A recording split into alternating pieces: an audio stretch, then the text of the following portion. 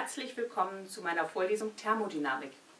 Ich möchte Ihnen heute eine Übersicht geben, ähm, was Sie in nächster Zeit erwartet und werde dann in der kommenden Zeit in verschiedenen Videoschnipseln Ihnen die einzelnen Themen näher beibringen.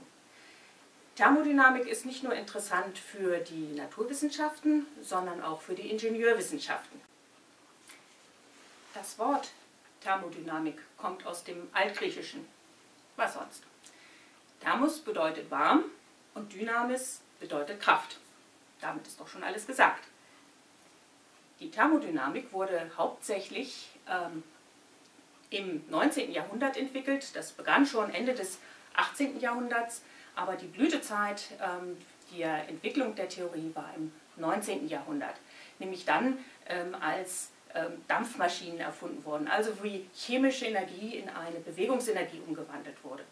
Das hing auch damit zusammen, dass zu dieser Zeit die damaligen Supermächte, die Kolonialmächte, Hegemonialansprüche hatten und es dort einen Wettbewerb gab, äh, sozusagen auch ein bisschen Aufrüstungswettbewerb. Und deswegen wollte man die besten Maschinen entwickeln, um dann den technologischen Vorsprung zu haben. Bei einer Dampfmaschine wird Verbrennungsenergie, die durch eine chemische Reaktion, das heißt die Verbrennung von Treibstoff, äh, entsteht, daraus wird Wärme gebildet, die wird in Arbeit umgewandelt, das heißt in kinetische Energie. Und aufgrund der Geschichte wurde dieser Teil der Thermodynamik zunächst entwickelt.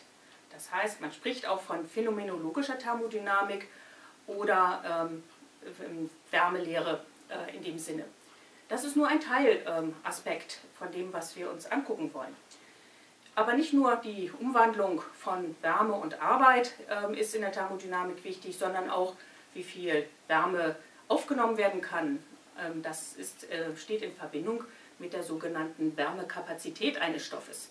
Auch das ist Teil der phänomenologischen Thermodynamik. In der Vorlesung werden wir auch zunächst einmal phänomenologisch vorgehen und werden einige der Grundprinzipien entwickeln. Also zum Beispiel die Hauptsätze der Thermodynamik, die genauso bedeutend sind wie das Newtonsche Axiom für die Mechanik ähm, oder ähm, auch die Maxwell-Gleichungen äh, für die Elektrodynamik. Also das sind ganz fundamentale Größen, die wir uns anhand ähm, der Entwicklung, ähm, wie äh, Wärme und Arbeit umgewandelt wird, zunächst einmal erarbeiten wollen. Bisher habe ich immer darüber gesprochen, wie man phänomenologisch etwas beschreibt.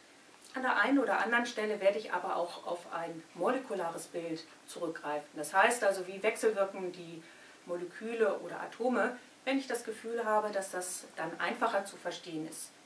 Diese Art von Bild ähm, ist Bestandteil der statistischen Thermodynamik und war eigentlich erst möglich, ähm, nachdem man schon die phänomenologische Thermodynamik entwickelt hatte, als man äh, Entdeckungen in der Quantenmechanik gemacht hat. Ähm, in der Physik wird das sehr ausführlich auf diese Art und Weise auf dem molekularen Level besprochen oder in der Chemie in den fortgeschrittenen Vorlesungen in der statistischen Thermodynamik. Aber keine Angst, ähm, für die Nerds, die gerne jetzt ganz viele Mathematikformeln in dieser Richtung sehen wollen, da muss ich auf die fortgeschrittenen Vorlesungen vertrösten.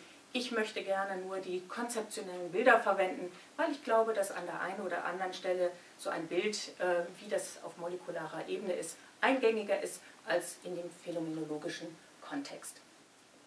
Nun, ich bin Chemikerin und Natürlich, die Kraft, Wärmekraftmaschinen sind ganz spannend und ganz interessant, aber eigentlich interessiert uns ja, was in chemischen Reaktionen passiert.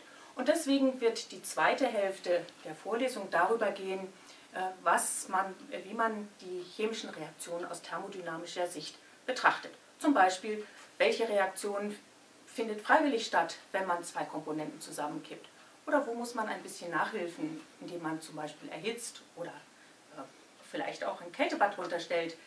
Und wenn man dann eine chemische Reaktion gemacht hat, dann muss man natürlich auch die E-Dukte von den Produkten trennen. Das ist manchmal gar nicht so einfach. Und was da zu bedenken ist, das ist ebenfalls Teil des zweiten Teils meiner Vorlesung. Also bitte ein bisschen Geduld, wenn wir uns erstmal die Konzepte anhand von Wärmekraftmaschinen erarbeiten. Die Chemie kommt dann ganz bestimmt.